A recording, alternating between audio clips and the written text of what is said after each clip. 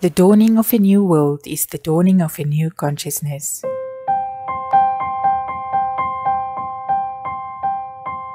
It is often said that there will be a new world. What does a new world mean? The true meaning is that the world, heaven and earth, will reopen.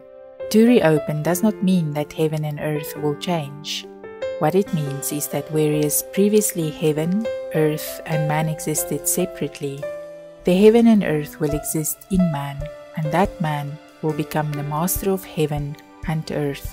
The huge universe consists of soul and spirit, or Jung, body, and Shin, mind, respectively.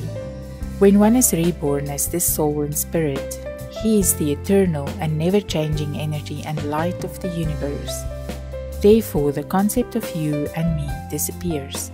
The concept of your country and my country disappears. No one has worries or miseries, and this place, here, is paradise and heaven. The dawning of a new world is the following. When one completely discards his mind and body that comes from his self centered mind, and he is reborn as the infinite soul and spirit that is truth, all religions, ideologies, and philosophies will unite. It is the dawning of a new world because instead of man existing separately from heaven and earth, they will become one and exist within man. The dawning of a new world is the dawning of a new consciousness. It is the new world because there is no self and one becomes the universe's consciousness itself.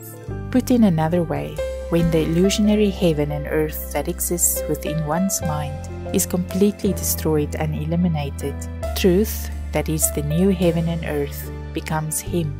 Therefore, it can be said that heaven and earth reopens and that it is a new world. Meditate with us at meditationafrica.org.